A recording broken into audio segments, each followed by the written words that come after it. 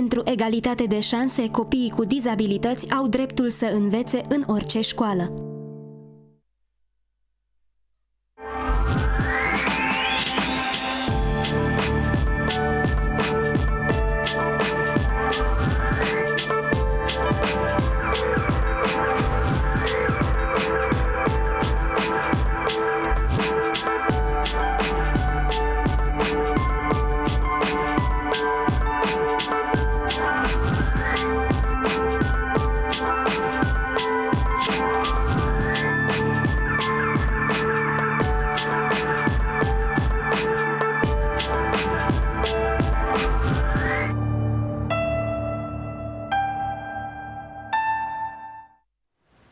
Doamnelor, domnilor, bun găsit! Fără prejudecăți începe chiar acum la televiziunea română. Sunt Ovidiu Damian și vă mulțumesc că sunteți alături de noi. Vă reamintesc că emisiunea noastră este interpretată și în limbaj mimico-gestual. Asta pentru ca mesajul nostru să ajungă și la persoanele cu deficiențe de auz, iar o variantă accesibilizată pentru nevăzători se regăsește pe platforma Mixcloud. Peste 1500 de persoane au participat la cea de-a 17-a ediție a Zilei Interacțiunii Om-Animal, ediția de interior, cum îi spun organizatorii, și o să vorbim despre acest acest uh, subiect în prima parte a emisiunii de astăzi. În același timp uh, vorbim și despre proiecte de accesibilizare destinate nevăzătorilor care au început la Cluj-Napoca și care acum, iată, ajung la nivel internațional. Colegul nostru Bogdan Cristea ne va aduce știri din domeniul dizabilității, iar la final Andreea Nod ne aduce ultimele noutăți din domeniu. Pătrundem acum în atmosfera Zilei Interacțiunii Om-Animal care a avut loc de doar câteva zile la Cluj-Napoca, după care revenim în platou.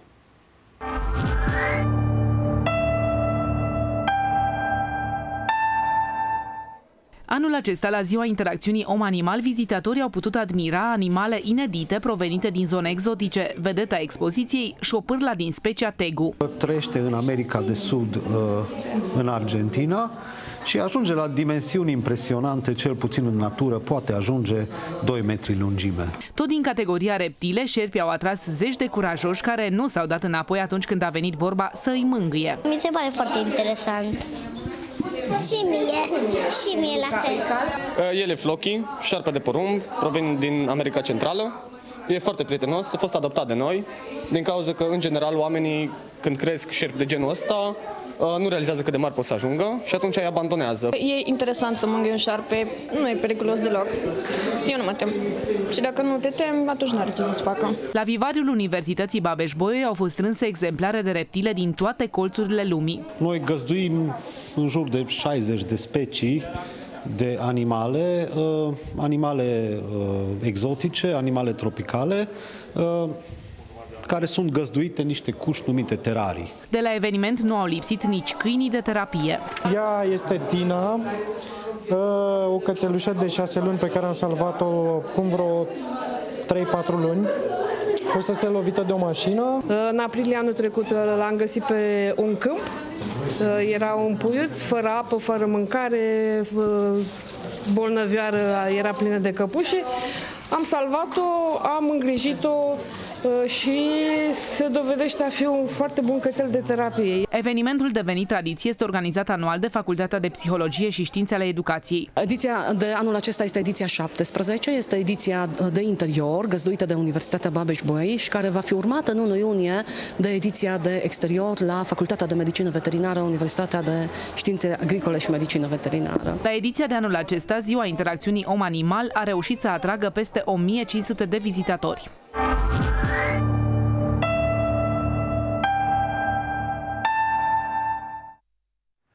Am revenit în platou, doamnelor, domnilor, direct din sala de curs, în platoul emisiunii Fără Prejudecăți, doamna conferențiar universitar dr. Alina Rusu și organizator al uh, edițiilor ZIOA. Iată, 17 ediții sărbătorile. Alina, mulțumesc foarte mult că ești alături de mulțumesc, noi. Mulțumesc, Ovidiu. O bucurie vin ca de fiecare dată. Alături de mine ar fi trebuit să fie și colegii coorganizatori de la Medicină Veterinară, dar ne transmit salutări.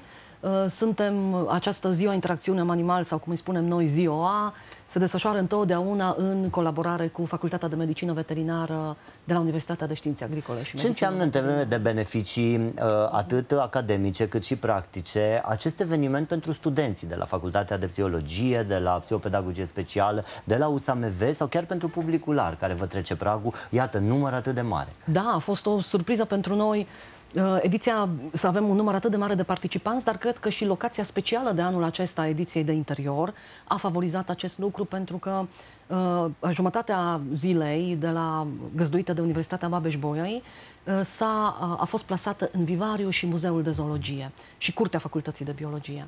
Ce înseamnă pentru studenți? E o întrebare excelentă pe care încercăm să o investigăm un pic și științific în termen de beneficii. Uh, ceea ce fac studenții acolo se numește învățare spre comunitate. Însă în Acel service learning service despre learning, care noi am sigur, mai vorbit sigur. la Fără Prejudecăți. Uh, dincolo de faptul că au de-a face cu membrii ai comunității, ei fiind antrenați minimal înainte, cum să comunice cu persoanele vizitatoare, cum să interacționeze cu animalele și să transmită mesajul că avem nevoie de interacțiune responsabilă cu uh, animalele, pentru că sănătatea animalelor și a mediului este sănătatea noastră și invers. Uh, între ei se creează o rețea foarte puternică, un networking, cum îi spunem noi, și de multe ori uh, acești studenți care devin ulterior specialiști se regăsesc în rețea interprofesională. Deci, practic, ei, dacă doresc, psihopedagogii, de exemplu, sau psihologii sau asistenții sociali, să includă prezența animalelor în practicile lor terapeutice sau educaționale, ei știu deja că alături de ei se pot găsi biologi și medici veterinari. De... Ai uh, uh, mixat cumva planurile și te-ai aflat la mai multe uh, părți ale acestui uh, subiect. Ai fost implicată și în construcția unei programe pentru învățământul special în ceea ce privește terapia asistată de animale. Lucrezi uh, cu specialiști care doresc să se formeze în acest domeniu, iarăși al uh, terapiei asistate de animale. Acum vii de la un curs de psihologie animală. Uh, vorbește-ne despre beneficiile în terapie cu uh, copilașii cu autism. Ai fost, de exemplu, da. implicată inclusiv în uh, proiecte internaționale. Ce înseamnă înseamnă pentru ei în sens terapeutic această interacțiune? Beneficiile includerii uh, animalelor, am lucrat în special cu câini și uh, câteva activități asistate de cai, deci a fost și un program în care Te-am văzut și la Descoperă Natura, la Asociația Descoperă exact. Natura alături de Mugur Pop. Uh, am lucrat foarte mult cu colegii de la Autist Transilvania, uh, care au fost foarte deschiși în includerea uh, activităților asistate de animale în uh, programele lor de la centrul de zi. Practic, noi ce am făcut, în dacă, dacă luăm activitățile asistate de câini, în colaborare cu ofertanți de servicii pe care deja îi cunoaștem, cum sunt uh, uh, colegele noastre de la Pet Joy Sports, de aici din Cluj-Napoca, cu câinilor, uh, și cu studenți voluntari care au beneficiat, au avut ore de practică, fiind implicați în proiect, uh, am testat practic ce înseamnă jocul structurat, în care copilașii cu diagnostic din spectrul autist erau învățați să conducă câinii printre obstacole și cu prompt, cu informație, cum să facă, ce să facă. Adică iarăși o activitate dirijată, dirijată cu un scop, cu cât un se scop. poate de clar, dar pe care voi ați, să spunem, camuflat-o camuflat sub formă joc. De, de joc. Joc structurat, exact, joc funcțional structurat. Urmărind... Adică exact acel pretended play care este deficitar în cazul copiilor cu exact, autism. Exact, exact. Particularitatea, și am comparat cu ceea ce se întâmplă în jocul liber, în engleză freestyle, practic Uh, ce se întâmplă acasă când părinții uh, copilașilor cu diagnostic din TSA, spectrul autist, de multe ori spun, da, voi achiziționa un câine, de exemplu, uh, ca să creștem calitatea vieții familiei, să fim mai conectați și să ne structurăm în jurul câinelui prin joc. Ce se poate însă întâmpla ca acest joc liber să nu aducă beneficiile așteptate familiei și copilului sau copiilor și mai mult decât atât câinele să devină un factor de stres, pentru că devine prea mult pentru ei. Și atunci studiile, no- rezultatele noastre arată că ideal ar fi să se combine jocul structurat, deci cu obstacole, informații foarte clare, asta ai de făcut, și jocul liber. Jocul liber aduce beneficii sub formă de râs, socializare copilului, însă în studiile noastre, experimentul nostru practic a arătat că animalele se simt un pic mai stresate pentru că nu au predictibilitate. Aha. În contextul acesta al jocului cu copilaș cu diagnostic Deci întotdeauna există o structură, un cadru de desfășurare a terapiei, nu doar pentru copilul și pentru cu, cu dizabilitate, ci și pentru animal. Da, da. Și atunci, ca să putem controla semnele stresului și să prevenim potențiale accidente și apariția plictisului, uh, indicăm, uh, și asta am lucrat și pe familii acasă, a fost un cazul unei familii care ne-au rugat să meargă echipă formată de instructor canin și psihoterapeut să facă intervenție. În context familial. Exact. Ingineria comportamentală, spunem noi, și am avut un succes uh, foarte mare pentru că au început să se simtă mai bine și mai responsabili părinții, siblings, fratele copilașului și copilașul care era cu diagnostic din spectru. Deci asta am încercat noi să facem, cum ai zis tu, pe fond de joc, uh, să oferim studenților un kit de interacțiune mm-hmm. optimă cu animalul de companie în beneficiul copilului, al familiei și și al terapeuților. Am prezentat uh, la Fără Prejudecăți și în alte ediții faptul că, de exemplu, atunci când ne referim la câinii ghiz pentru nevăzători, care iarăși necesită un dresaj special și așa mai departe, dacă e să facem o comparație păcătoasă, aș spune, uh, Anglia, Marea Britanie are undeva la 3800 de astfel de câini, România abia are vreo 4 și aceia cu probleme, nu sunt da. lăsați în uh, foarte multe locuri și așa mai departe. Nu se cunoaște. E un mit că doar câinii pot fi implicați în acțiuni uh, terapeutice cu copiii, pentru că la voi și la ziua am văzut pisici. Ce ne spui despre acest lucru? Se știe în genere că felinele nu prea le poți dresa, nu prea sunt bune în astfel de activități cu copii. E o percepție greșită? Uh, greșit, poate că este așa spus pentru publicul larg, știi, dar uh, mai degrabă nu se cunosc încă foarte multe lucruri legate de comportamentul felin care să le permită includerea în mediul terapeutic, așa cum se știe despre câini. Însă, există deja un trend pozitiv, deci o direcție pozitivă și de aproximativ 10 ani pisicile au început să fie incluse în, prin prezență, exerciții simple, mângâia. Nu putem face atâtea lucruri mm-hmm. pe care ni le permite dresajul canin. Dar uh, prezența lor poate să faciliteze o serie de efecte pe care noi le estimăm prin intervențiile terapeutice. Deci, practic, îmbunătățim anumite intervenții, incluzând pisicuțele. Uh, trebuie însă să respectăm și aici o serie de standarde de igienă, predictibilitate comportamentală, să fim siguri că animalul acceptă mângâierile și că nu există alergii din partea beneficiarilor. Deci astea ar fi o, niște condiții extrem de importante. Dar noi îl avem pe mâțul Tomi, pe care L-am deja, văzut în imagine, cano, foarte știi, obișnuit, obișnuit deja în aceste activități de terapie asistată. Ca norocul că nu poate să suferă de mândrie, pentru că îl tot lăudăm, suntem aici happy. Este o pisicuță, practic, fără să, nu-i cunoaștem trecutul genetic și primele luni de viață. A fost adoptat de colega noastră, Ana Maria Băsceanu, psiholog, când el avea aproximativ 3 luni, dintr-un parc de aici, din Cluj, detunata. Uh, și uh, el a fost socializat de timpuriu pe cât s-a putut. Uh-huh fiind adus la cursul de psihologie animală, de unde tocmai am Aha, venit. Deci voi știi? lucrați în sala de Sigur. curs într-o manieră absolut uh, practică. Sigur, dar uh, uh, includerea animalelor în sala de curs, noi o documentăm științific pentru că există multe studii care arată că poate primele 5 minute studenții se simt uh, un pic deranjați de prezența animalului, dar în sens pozitiv, că s-ar juca cu, cu pisica sau cu... Adică uh, cumva atenția distrasă, distrasă. nu înspre uh, interacțiunea cu dar animalul. se reglează foarte repede. Prezența unei alte specii în sala de curs crește atenția executivă și astăzi, de exemplu, am văzut erau în sală, cred că 120-130 de studenți, poate mai mulți, că erau foarte mulți pe scări, pe, efectiv nu aveam loc. Și cei doi, cele două animăluțe pe care le-am avut, uh, animale de companie, ale studenților au creat o stare foarte pozitivă, deci o atenție extraordinară la subiectele predate. Din când în când, câinii s-au reglat și ei comportamental, se mai jucau din când în când, dar puțin, știi, și atunci studenții nu mai aveau nevoie de cafea.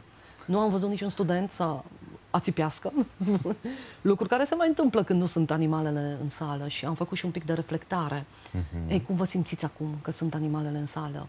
Și toată lumea, a, ne simțim bine, nu suntem obosiți. Deci... Am văzut uh, la începutul materialului uh, realizat uh, de colegul nostru Antonio Miclea cu ocazia celei de-a 17-a ediție a acestui eveniment, interacțiunea cu reptilele. Știu că pe ele nu le folosiți în aceste acțiuni terapeutice pentru că nu dau feedback, cum spuneai mm-hmm. puțin mai devreme. Pe de altă parte, noi știm filogenetic cumva avem o teamă de exact. reptile, nu? E, e ceea ce ne-a ajutat de-a lungul timpului să ne conservăm ca specie. Cum stau lucrurile aici și care e rolul reptilelor în activitate? Activitățile uh, voastre? Da. Sau e o teamă culturală este sau o teamă, ambele? Sau... Este o teamă și noi spunem uh, evolu- uh, bazat evoluționist, pentru că uh, reptilele sunt poate mai greu de perceput la nivel de interacțiune bazată pe expresii faciale și posturi comportamentale, dar uh, sunt studenți care au animale adoptate de tip șerp de porumb sau alte Cum am tipuri. văzut în imagine. Sunt colegii de la biologie, dar sunt și psihologi care au animale adoptate.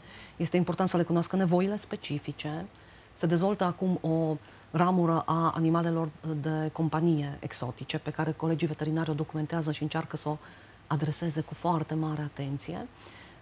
Într-adevăr, nu le putem include în medii terapeutice atât de frecvent, nici nu prea se recomandă uh-huh. de către asociațiile și instituțiile care susțin și promovează formările în terapie asistată de animale, însă le putem include în pedagogia asistată de animale și acolo putem să le utilizăm în uh, să le includem în a învăța copiii să cunoască diversitatea speciilor, nevoile lor sau să lucrăm pe exact acele frici evoluționiste care uneori merg pe fobie, Aha. de care spuneai tu, știi? Și asta chiar facem cu studenții, știi, la ziua interacțiune cu animal de afară mai ales, unde putem fotografia mult mai bine. Efectiv, luăm poze bine cu acordul părinților și fiind eveniment public, e Sigur. ok să le facem poze. Copii care, și studenți care văd prima oară un șarpe și pun uh, sub uh, interacțiunea ghidată, că ei primesc sfaturi cum să să-l atingă, nu să-l strângă. uh, vedem emoțiile lor pe care le analizăm apoi din perspectivă evoluționistă. Ce, ce găsiți? Dezgust, frică, uh, uimire. Deci, practic, avem trei emoții care le putem vedea la nivel macrofacial, clar. I-am văzut pe cei din imagini care erau foarte relaxați. Spunea, spunea, și acum vedem în imagini, o vedem pe domnișoara care spunea, nu mi-e frică și pentru că nu mi-e frică, atunci n-am... Iată, și copiii, și cumva copii. parcă nu se... Copiii se apropie cu o curiozitate, la ei nu vedem dezgust. Dezgustul observăm mai mult la studenți și la participanții mai în vârstă.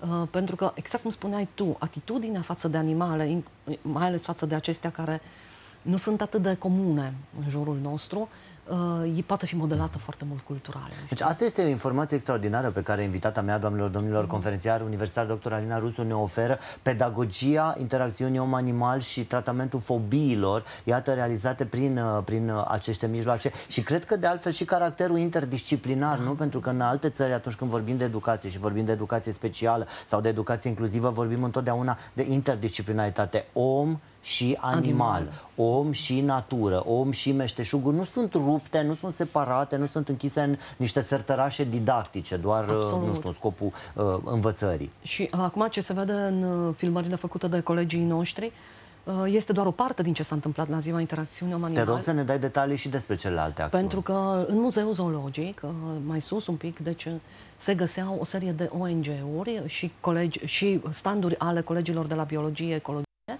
care ofereau informații despre interacțiunea cu uh, diferite componente ale naturii.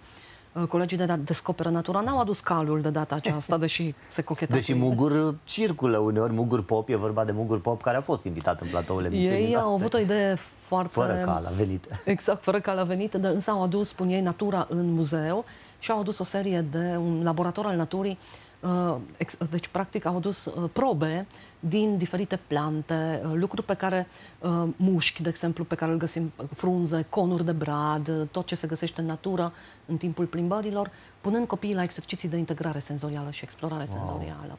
Mai departe a fost fabrica de zâmbete a studenților de la Asociația Psiholo- Asocia- ASPR, Asociația Studenților, Studenților Psihologi din România, voluntari, practic, care au făcut cursul de psihologie animală, cei mai mulți dintre ei, și care pictau fețele copilașilor uh, sub formă de animale, deci producând zâmbete. Apoi am avut diferite școli speciale și instituții care includ animale în programe terapeutice, Societatea Ornitologică Română și Milvus, care au adus informații legate de speciile de păsări de la noi din România, cum să le protejăm, cum să le hrănim, a fost un succes prezența lor, au oferit atelier de inelare păsări au instalat plase speciale care nu rănesc păsările, au prins o serie de pițigoi și de față cu copiii și studenții i-au inelat, cântărit, evaluat uh, calitatea vieții. Au mai fost alături de noi uh, asociații care promovează adopția animalelor de companie, iCare, Arca lui Noe, NUCA, uh, colegii de la fosta Firfoten Animal Society din București, care au străbătut tot drumul până aici ca să uh, aducă câinii de terapie și să promoveze uh, Uh, faptul că un câine, chiar dacă este mai danez, nu-i cunoști istoricul, poate are potențial să devină câine de terapie. Exact aici am vrut să ajung, pentru că am văzut în, uh, în imagini uh, ceea ce declara o doamnă, o cățelușă în condiții dezastroase, găsită Bijou. pe stradă, uh, cu căpușe și așa mai departe, despre a cărui, exact cum spuneai și tu istoric, nu știm absolut nimic. nimic. Iată, cu toate astea poate să devină câine de terapie, de terapie fără niciun fel de probleme. Este cazul lui Bijou, cățelușa pe care ați văzut-o. Ei sunt colegii de-ai noștri, colaborăm de mult cu uh, această echipă și unul dintre căței care este un VIP este câinele Toto. Uh, este un câine tot așa mai danez, uh, găsit de aici în Cluj de, de către colegele noastre de la iCare și adoptat acum două ediții la Ziua Interacțiunii Om-Animal. Wow. Pentru că noi asta promovăm și adopția animalelor de multe ori la ediția din vară, din 1 iunie. Se aduc întotdeauna uh, standuri cu animale pentru adopție și cuantificăm succesul Zilei Interacțiunii Om-Animal și prin numărul de animale adoptate pe care se și urmăresc. Tot alături de noi au fost colegii de la Pet Joy Sports, uh, Iulia Lazar și echipa, care promovează foarte mult dresajul pozitiv, fără pedepse, și care au făcut uh, într-o manieră de joc incredibilă acolo în curtea facultății și eu am participat și studenții. Am, ne-am distrat și am participat alături de copii și bunici. Uh, au făcut exerciții vesele și sănătoase cu uh, câinii de terapie. Și uh, pot să spun că acele momente au fost uh, de bucurie, dar în același timp, nu doar de bucurie, ci și de învățare by doing, spunem noi, learning by doing, învățare făcând. Mm-hmm. Bun. Pentru deci, că nu e așa, învățarea nu se oprește la a ști, ci da, merge da, până la a face. Da. Adică tu poți învăța că nu te poți plictisi cu câinele tău. Acum și voi aveți câine și acolo sunt copii, am văzut cum se joacă. Acum l-am văzut pe cel mai mare, nu știu încă dacă fetița face jumbulșucuri. Dar uh, de la copii noi putem învăța foarte multe pentru că ei nu se plictisesc niciodată. Deci chiar dacă spun asta verbal, însă noi știm că mm-hmm. sunt totuși tot timpul în stare de joc. Deci asta am încercat să arătăm studenților și celor care au venit, uh, chiar dacă au venit fără animalele lor de companie, fiind ediția de interior, n-am prea avut loc, așa, că se poate, tu poți să fii un inginer, jucăuș mm-hmm. al interacțiunii cu câinele tău. Și bineînțeles, am avut alături de noi pe Angel Dog, Uh, care vin de la satul mare și le mulțumim pentru că noi nu le plătim drumul, noi nu avem fonduri. Sunt cei care da. dresează câini, câini pentru, pentru nevăzători. Da. Exact Sunt, ce spuneam uh, puțin mai devreme. La... E o ramură nouă în da. România. O echipă foarte responsabilă. Este vorba despre uh, Sobo Zoltan și mm-hmm. colegii lui care vin de fiecare dată cu drag și să le spunem celor care urmăresc, oamenii ăștia fac pionierat în ceea ce privește pregătirea câinilor pentru a însoți uh, nevăzători. De data aceasta au fost în muzeu, asta am încercat să, ved- să, să facem cumva, să transmitem spre publicul larg prezent, că în muzeu este voie să intri cu câini pentru nevăzători. Acești sunt, aceștia sunt câini uh, în America sau în alte țări se și numesc the seeing, uh, uh seeing dogs, adică câinii, ochii, ochii așa, și ghidajul persoane știi? cu, cu deficiențe mm, vizuale. Nicio instituție publică, oricât de informat ar fi, nu are drepturi și asta și prin lege Uh, să interzică accesul lor în... în e, dar noi am văzut, în, din păcate, în da. știri, restaurante, da. instituții da. din uh, diverse orașe care au blocat accesul da. acestor da. câini da. Uh, din diverse motive, spunând că nu avem legislație suficientă, că nu se știe, etc. etc. Motive putem să găsim destule, Multiple. dar nu pe asta vreau să, vă, uh, să mă concentrez. Vreau să vă spun, doamnelor, domnilor, că invitata mea, doamna conferențiar universitar, dr. Alina Rusu, uh, are o experiență și internațională în acest uh, domeniu. Povestește-ne, te rog frumos, uh, spre exemplu, experiența ta în centrul de excelență de pe de lângă uh, New Jersey, New la Trishimnis, unde era o adevărată fermă terapeutică. Nu cred că uh, voi da, greși dacă da. voi spune acest O să-ți explic. Uh, era, da, este o fermă terapeutică, așa s-a pornit, însă a devenit acum un complex foarte mare de intervenții și pedagogie asistată de animale. Ce am văzut acolo este, pot să zic că m-a uimit, deși eu cunoșteam modelul și predau despre acest model inclusiv Uh, care adresează persoane cu nevoi speciale, copii, începând cu vârsta de la 6 până la 18 ani, care sunt subvenționați de fiecare stat. Bun, deci ei dacă au anumite probleme comportamentale, erau foarte mulți cu tulburări comportamentale, uh, cu psihopatologie de tip borderline sau care proveneau cu șoc post-traumatic din diferite uh, familiei... Adică această interacțiune, îmi cer scuze da, că te-am întrerupt, o animal merge nu doar în zona dizabilității, și uh, chiar în zona unor diagnostice psihiatrice. Absolut, Ce? absolut. Și asta aveau ei, un centru inclusiv, deci un centru interdisciplinar, interprofesional, unde copilul putea să vină cu familia, uh, să fie diagnosticat psihiatric pe parte de nevoi uh, psihopedagogice, asistență socială și toate serviciile se ofereau integrat în paralel. Deci toate, uh, se făcea un plan personalizat de intervenție și toată școala o făceau uh, acești copii acolo. Uh, totul uh, se oferea pe fondul intervențiilor cu animale, animale care la rândul lor, de tipul, începând de la, uh, hai să spunem, hamster, porcușor de Guinea, până la animale de fermă, de la circ salvate, wow. câini, copilașii erau implicați în programe de pregătire a câinilor pentru adopție, pe dresaj. Uh, Uh, deci primeau și competențe profesionale, știi? îngrijirea animalelor de fermă, puteau deveni instructori ecveștri. Uh, erau inclusiv persoane cu diagnostic din spectrul autist, uh, aveau cazare permanentă acolo și permisiune să fie vizitați de către familie sau să plece periodic, săptămânal sau lunar acasă. Cumva un fel de abordare și vindecare a traumei în paralel, atât uh, uh, pentru copil sau pentru adolescent sau uh, da. tânăr ce era persoana respectivă, dar și pentru, pentru animalul mm. care în diverse ce, situații a fost exact. traumatizat. Ce mi-a plăcut este că lucrau foarte mult cu centre medicale, inclusiv de la Mount Sinai am văzut o echipă de medici care făceau practică acolo, asistenți sociali de la Ragers, New York, de peste tot erau uh, prezenți, studenți care puteau să facă practică, internship practică plătită sau voluntariat și tot personalul era periodic instruit pe intervenții în situații de criză.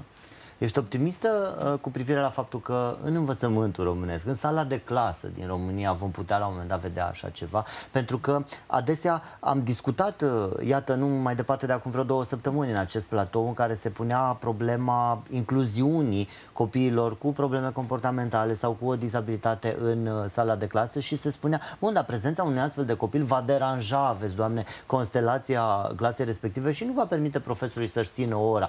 Dacă le vei spune profesorului din România aducem și un câine de terapie sau un animal în scop uh, uh terapeutic în clasă, acel profesor se va lua cu mine de cap ah. în acest moment, da, neînțelegând ce presupune, ce presupune acest lucru. Să știi că pot spun că sunt optimistă, uh, văzând cursanții pe care noi avem la cursul postuniversitar, inclusiv profesori care din învățământul special, dar nu numai, și care au spus că au început cu pași baby steps de bebeluș, adică să aducă în clasă, cu ajutorul profesorilor de biologie, de exemplu, testoase, știi, care, dar nu testoase acvatice neapărat, uh, deși și acelea, acelea îți trebuie și mai multă responsabilitate să le ții, sau hamsteri, dar cu testoase se poate lucra, sunt mai rezistente și au făcut program de îngrijire, responsabilizând astfel copiii, dar și personalul uh, educa- educațional, deci colegilor și inclusiv personalul administrativ, oameni care se ocupau cu curățenia sau uh, Uh, și uh, au raportat o creștere a calității vieții tuturor, tuturor știi? și a satisfacției cu locul de muncă, față de locul de muncă. Și uh, chiar au prezentat astfel de cazuri în portofoliile pe care le-au de făcut la absolvirea cursului postuniversitar. Chiar vrem să facem acum o trecere în revistă și chiar ne gândim la un potențial articol să vedem pe ce au lucrat acești oameni în decursul celor 12-11 ediții ale cursului Un fel nostru. de follow-up în care da. vă uitați uh, da. retrospectiv la da. tot ceea ce s-a Deci au început să includă animale ușor de uh, handle, ușor, deci, ușor de lucrat mm. cu ele în clasă și care nu presupun, uh, deci, nu presupun uh, uh, o serie de uh, hai să nu spunem, demersuri birocratice care poate le-ar mm. tăia din entuziasm. Mai mult decât atât, noi nici nu încurajăm ca o școală, de exemplu, sau o clasă să ia un câine, să achiziționeze un câine doar pentru clasa respectivă. Pentru că un animal de companie are nevoie de un deținător, o bază de atașament și o bază securizată. Sigură de la care interacționează da, cu deci toți asta ceilalți. este un act aproape de cruzime ca o școală să achiziționeze un câine doar ca să fie în folosul lor și al copiilor. Câinele are nevoie de un om în jurul căruia să se învârtă, să pivoteze. Și atunci de multe ori nu știu cum să transmitem, ne este greu să transmitem celor care deja au făcut lucrul acesta și ne roagă să venim să facem programe cu ei și le spunem acest pas nu ar fi trebuit făcut, acum să vedem ce se poate mm-hmm. face. Ideal ar fi acel o persoană să devină... urgent să, adopte, uh, să fie adoptat de către cineva din școală, știi? Deci asta încercăm să spunem. Știu că poate se supără unele persoane, uh, dar este, nu, nu este etic să achiziționezi un animal doar pentru pentru un câine, un câine, mă refer, sau o pisicuță pentru o instituție. Acum, dacă câinele vine el singur și e câine rezident și este hrănit de toată lumea, este cu totul altceva un câine. Dar și acolo, ideal ar fi să aibă o bază pe care, la care să se raporteze. Suntem la finalul intervenției uh, noastre. A fost ediția cu numărul 17 ziua. E clar, e un uh, succes, nu-i așa? Uh, e deja un CV pe care îl aveți în ceea ce privește acest eveniment uh-huh. și urmează, doamnelor, domnilor, ediția de exterior, cum de spunea invitata mea puțin mai devreme, 1 iunie, nu-i da, așa? De da, ziua da, da. copilului. O zi, o zi de sâmbătă. Uh, cel mai probabil vom începe la ora 10 ca de obicei. Știu că și voi ați fost anul trecut în, în echipă completă, încă, și completă, complexă. completă și complexă. Vă așteptăm și pe cățelul tău. Uh, pot, vor fi mulți câini, dar uh, atunci vine lumea cu animale de companie. Însă avem foarte mulți voluntari care ajută oamenii și animalele să se regleze la nivel de interacțiune. Îți mulțumesc foarte mult pentru că ți-ai făcut timp uh, să vin platoul nostru. Apropo, doamnelor, domnilor, invitata mea fuge înapoi la studenți pentru că e, urmează un nou uh, curs uh, de terapie asistată de animal. Mult succes în organizarea și următoarea ediție. Mulțumesc, Ovidiu, și vă așteptăm în, pe toți să veniți, dacă puteți, în, la Ziua Interacțiunea Animale în 1 iunie. Mulțumesc, Alina. Mergem acum mai departe, doamnelor, domnilor. De curând a fost și Ziua Internațională de Conștientizare a Bolilor Rare. Urmărim chiar acum o știre pe acest subiect, după care revenim în platou. Rămâneți cu noi!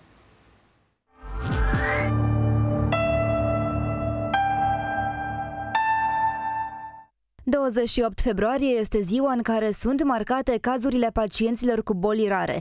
Cea de-a 12-a ediție se concentrează pe sprijinul bolnavilor. Specialiștii spun că trebuie să ne unim forțele și să nu îi discriminăm. Anual sunt identificate 250 de boli rare noi, iar 80% sunt boli genetice. Unele dintre ele au o cauză cunoscută, de regulă sunt genetice sau sunt metabolice. La unele există tratament, la foarte puține, din păcate la foarte multe nu. La cel puțin 60% dintre bolile acestea nu se cunoaște cauza și nu s-a găsit încă drogul, medicamentul care să le poată, este multifactorial. De multe ori un defect genetic nu îl poți trata cu medicamente de sinteză. Se estimează că în prezent există între 5.000 și 8.000 de boli rare, ele afectând între 6% și 8% din populație în cursul vieții. Din păcate, unele se manifestă imediat după naștere și sunt destul de agresive, incompatibile cu viața de adult, altele sunt mai blânde și își negociază existența până pe la vârsta de 30-40 de ani. Sunt însă rare și eu am văzut cazuri în care sunt boli descrise numai la 2 sau 3 subiecti în lume. Anul acesta, de ziua bolilor rare, se pune accent pe susținerea pacienților care suferă de astfel de maladii. O supraviețuire ca adult a unui asemenea om este o provocare pentru el în primul rând și apoi pentru societate. Trebuie însă să ne mobilizăm și să fim conștienți că cei care nu au un diagnostic, dar sunt suspecți de o asemenea afecțiune, trebuie considerați ca asemenii noștri și trebuie ajutați. Potrivit Ministerului Sănătății, în România există 14 centre de expertiză pentru bolile rare, care au ca obiective prevenirea, diagnosticul precoce și tratamentul, dar și completarea registrelor de date pentru evidența acestor boli. O boală rară este o boală care afectează mai puțin de 5 din 10.000 de indivizi.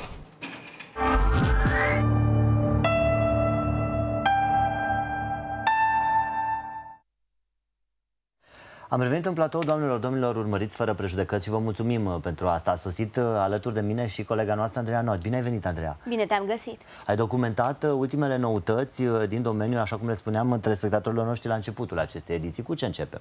Să începem cu vizita Ministrului Educației Naționale. O, m-am străduit să rețin această titulatură. Ecaterina Andronescu la Bistrița. Ana Dragu ne spunea în telefon acum vreo două ediții despre faptul că va veni la Bistrița. Și a și venit și chiar a Uh, vizitat și Centrul de Resurse și Referință în Autism Micul Prinț Bistrița. Dorește, înțeleg, să introducă în legea educației un capitol special. Un capitol special dedicat copiilor cu cerințe educaționale speciale, care se va referi în primul rând la acea problemă a um, profesorilor de sprijin, a consilierilor educaționali, uh, educaționali speciali în școlile unde sunt integrați acești copii. Dar mai este vorba și de faptul că uh, copiii cu cerințe educaționale speciale au nevoie de o programă uh, de studiu adaptată și de multe și ori... de examene adaptate. Și de examene adaptate. Și de multe ori profesorii aflați la fața locului nu au posibilitatea să adapteze aceste lucruri, să adapteze programa, să adapteze examenele în niciun caz. Legalitatea acestui lucru nu, uh, nu s-ar permite. Ministrul Educației Naționale promite să rezolve aceste probleme, să facă o programă programă adaptată pe care să o transmită la nivel uh, național la fiecare școală și examene adaptate în parte. Ei bine, acest lucru va fi de ajutor, după cum știm, de exemplu și pentru surzi. Uh, pentru care niciodată nu s-a străduit nimeni să adapteze nicio programă educațională și niciun fel de examen. Da, și le spunem celor care ne urmăresc acum uh, că, uh, după cum am văzut și în plasme lângă tine, sunt descrieri foarte stufoase ale acestor planuri pe care Ministerul Educației le are. Se pare că sunt discuții în comisiile de specialitate în acest moment. Această lege venea la pachet cu altele care în acest moment înțeleg că sunt întoarse. E vorba despre o lege care ar reglementa titularizarea formarea uh, profesorilor peste 65 de ani și o altă lege foarte uh, controversată în, uh, în spațiu public în aceste zile, aceea potrivit căreia plagiatul nu mai poate fi dovedit în acea comisie responsabilă până acum de analiza lucrărilor, ci doar în instanță. Doamna ministru Ecaterina Andronescu a anunțat pe cei care au semnalat aceste aspecte, este vorba și de senatorul Alexandrescu și și de Emilia Șercan, jurnalist care a documentat acest subiect, le-a spus că nu nu știa despre aceste inițiative care s-au întâmplat culmea, taman în Comisia de Specialitate și că va opri aceste proiecte legislative. Să vedem dacă această, acest capitol, de fapt, care privește educația specială și care ar fi putut să fie prevăzut în legea educației, venind la pachet cu ele, este oprit și el, este în dezbateri și așa mai departe. Oricum, vorbim de o inițiativă la nivel de lege. În practică, așa cum am văzut în platou, lucrurile stau diferite, Andreea. Să vedem aici, acesta este domeniul al educației, bine, pe lângă multe alte domenii, unde nu se poate că, spune că intenția contează. Doamna ministru, intenția contează în momentul în care îi duceți o floare doamnei învățătoare, nu în acest context al educației copiilor cu cerințe educaționale speciale. Uh, după cum ține minte, uh, să reamintim că acum câteva săptămâni doamna ministru uh, a avut o declarație destul de controversată, aș putea folosi chiar expresia ușor neacademică, a dat-o de gard, spunând că ar propune înființarea unor clase, pentru unor grupe speciale pentru copii cu aceste cerințe educaționale. Dar, dar între timp a revenit și a spus că n-am înțeles noi și că, da. de fapt, demersul era acela de angajare a personalului de specialitate, profesor de sprijin și așa mai departe, uh-huh. pentru ca acest proces de fapt fapt să funcționeze. Ar vrea să facă să colaboreze anumite instituții ale statului în așa fel încât să existe o concordanță între numărul copiilor cu cerințe educaționale speciale din școli și numărul profesorilor de sprijin, cum acest lucru în momentul de față nu se întâmplă. Da. Pe hârtie, și în ceea ce privește propunerile vorbim de anumite aspecte, în practică vorbim de cu totul și cu totul alte aspecte.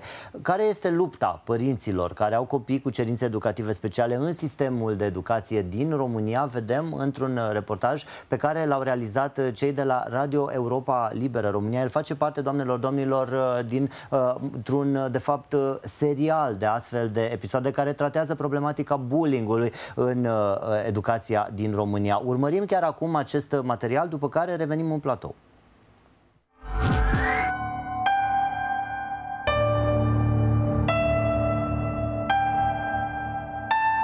Doamna de română mi-a spus uh, Doamne, înțelegeți-mă și pe mine. Uh, sunt și om. Nu vreau să lucrez cu copilul dumneavoastră unul la unul. Nu mă puneți. Nu rămân singură în aceeași cameră cu el nu pun mâna pe el, nu, vor, nu lucrez cu el. El i-a spus că este o brască râioasă. Și doamna s-a supărat foarte tare, a început să plângă și l-a luat de mână și l-a dus la director. Și l-a părât pentru că copilul a jignit-o și a făcut o broască râioasă. Și cum a acționat școala? Doamna învățătoare ne-a solicitat să ne prezentăm la director de urgență. Și ne-am prezentat a doua zi.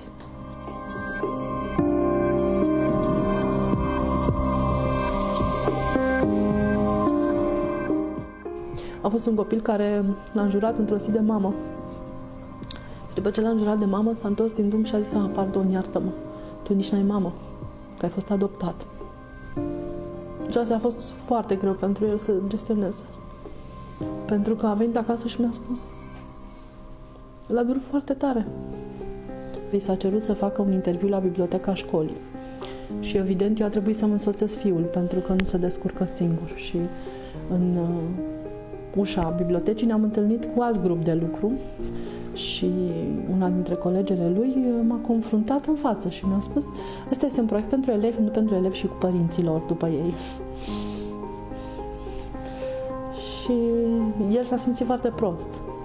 După aceea eleva l-a confruntat și pe el în clasă și uh, i-a reproșat că tu nu ai făcut proiectul singur, te aștepta mama ta.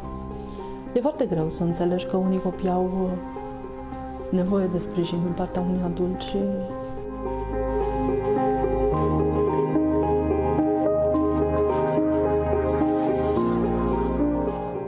El primește reproșuri și eu am fost pusă de colț de fiul meu care mi-a cerut să mă potolesc și să nu mai uh, merg la director, să nu mai cer nimic pentru că uh, copiii au reproșat că mama ta reclamă toată ziua el este acceptat în clasă.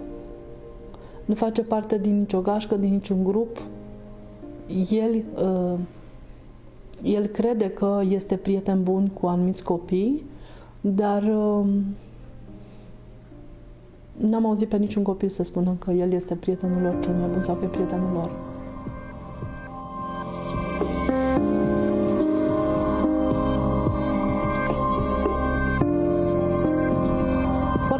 Oameni își pun problema să contribuie și ca acel copil să aibă o șansă reală să achiziționeze ceva, să existe un minim de cerințe pe care tu, ca profesor, să le stabilești pentru materia ta. Să spui, domne, un copil ca să treacă clasa la materia biologie trebuie să știe următoarele lucruri.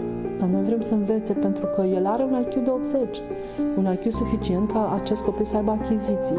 Și noi ne dorim achiziții pentru că dorim să fie un adult care își câștigă existența.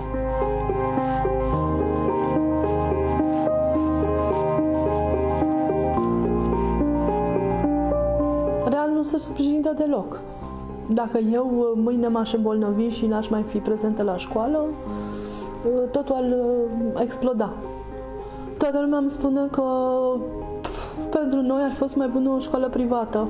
Eu nu știu dacă o școală privată ar fi fost mai bună, știu doar că nu mi-o pot permite.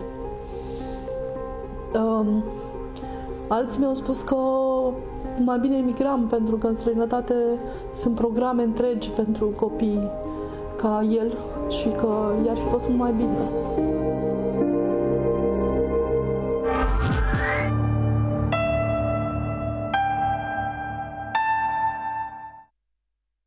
Am revenit, doamnelor, domnilor, în platou. Ați urmărit un clip realizat de Radio Europa Liberă România. Face parte dintr-un calup de astfel de clipuri care se regăsesc pe canalul lor de YouTube în ceea ce privește bullying în sistemul de învățământ din România. Și ceea ce vă spuneam puțin mai devreme nu este o încercare nici a mea, nici a colegei mele, Andreea Nodi, de a arunca cu pietre în sistemul de educație specială din România. Sunt concluziile unui studiu realizat de Centrul European al Drepturilor Copilor cu Dizabilități, din care am citat, nu-i așa, Andreea, în urmă cu câteva ediții, în care care se vorbea despre numărul insuficient al profesorilor de sprijin, despre faptul că toate aceste servicii sunt uh, de fapt uh, realizate de către părinți în România. Asta e realitatea sau o parte din realitatea învățământului uh, care ar trebui să fie inclusiv în țara noastră, dar care, din păcate, arată așa cum am văzut în imagine. De părinți și, despre, și de ONG-uri care sunt până la urmă, nu așa, finanțate tot de părinți și care au tot mai multe dificultăți în țara noastră. Că tot vorbești de ONG-uri.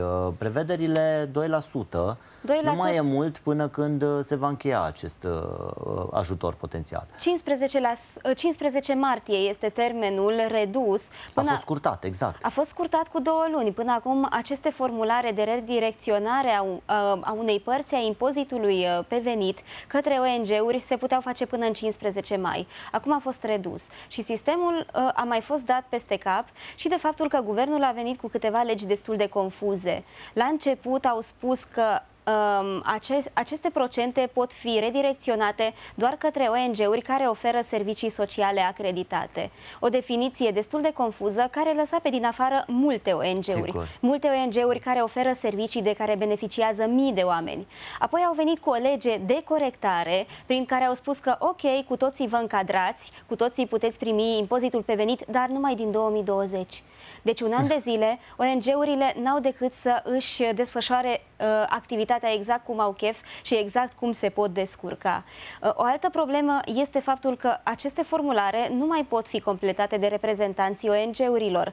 Titularul trebuie să completeze fiecare formular. Ei bine, mulți oameni nu vor să nu știu, lipsă de timp, lipsă de... Cere un... Plus e frica, scuzați-mă, exact. aproape fobia Uh, de a interacționa de a... cu ANAF, cu, cu sistemul de administrație fiscală. E, uh, este, deci e, o, e o, o, într-adevăr o, o, o adevărată frică pe care am auzit-o de la foarte mulți oameni. Decât să ajung la ANAF și să stau la o coadă și să interacționez cu cineva de acolo, nu știu, mai bine încerc să trimit prin poștă și așa mai departe. Dar exact. pare, Andreea, din ce ne spui că de fapt această procedură, în loc să se simplifice, s-a complicat. Se complică, s-a complicat și, oameni, da, și oamenii sunt descurajați să mai redirecționeze aceste cote către ONG-uri, că doar nu mai bine merg către bugetul de stat, unde guvernanții noștri responsabili pot decide în numele nostru ce să facă cu aceste sume. Ne întoarcem la aceste discuții și la noutățile pe care Andreea ni le pregătește în fiecare ediție a emisiunii noastre, dar urmărim acum un jurnal special prezentat de colegul nostru Bogdan Cristea. Priviți!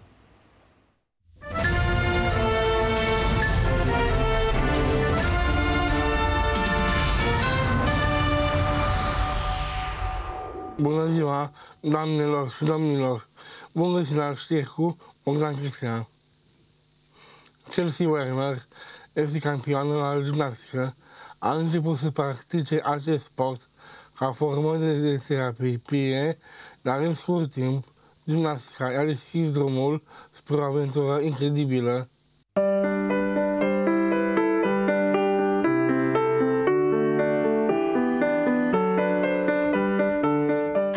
22 de ani și când a început gimnastica, tonusul ei muscular era foarte redus. Orice mișcare era foarte greu de realizat de către ea. Acum, tânăra americancă are în palmares patru titluri naționale la Jocurile Paralimpice, dar și un trofeu internațional. Sportiva mea a petrecut mulți ani și foarte multe ore în sala de gimnastică, iar faptul că s-a întors de atâtea ori de la competiții fără să câștige nimic nu a descurajat-o. A continuat de fiecare dată ca o adevărată luptătoare, spune Don Combo, antrenorul fetei. A început gimnastica la vârsta de 4 ani, era extrem de entuziastă, însă abia dacă putea să meargă pe bârnă, fără să cadă, pentru că îi lipsea tonusul muscular. Treptat, fetița a învățat procedee din ce în ce mai complicate. Chelsea petrecea tot mai multe ore în sala de gimnastică, iar rezultatele s-au văzut imediat. A cucerit mai multe titluri naționale și a obținut locul întâi la campionatele mondiale pentru sportivii cu sindrom Down Special Olympics. Are o personalitate incredibilă și este foarte pozitivă, foarte optimistă. E bucuria vieții mele, a spus tatăl ei într-un interviu.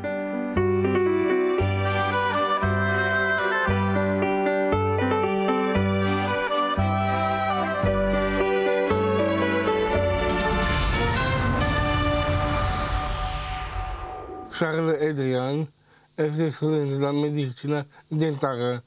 El va deveni, după absolvirea facultății, primul dentist în scan cu rotile din Franța.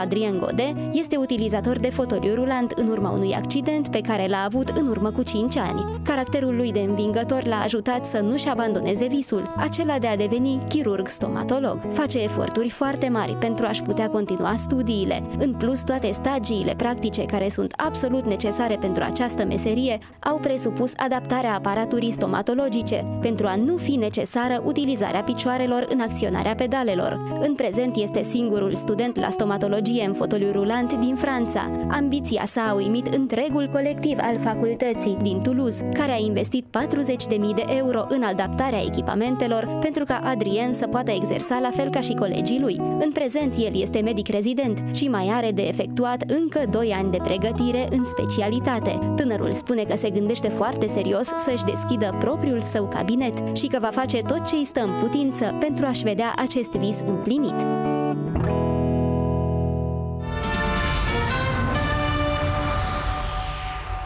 Vă prezentăm acum o situație foarte ciudată petrecută la Timișoara.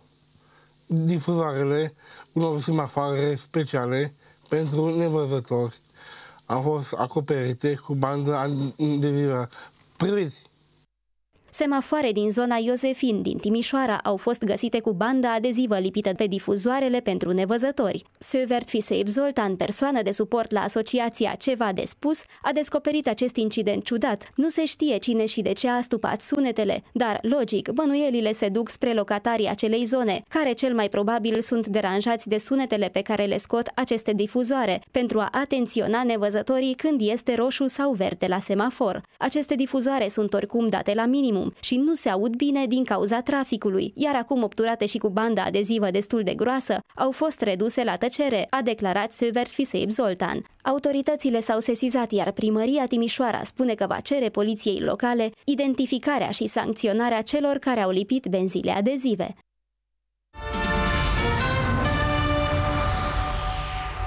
Doamnelor și domnilor, vă mulțumesc pentru atenție. Sunt Bogdan Cristian și veniți să rămâneți cu noi fără prejudecăți. Continuă la TVR.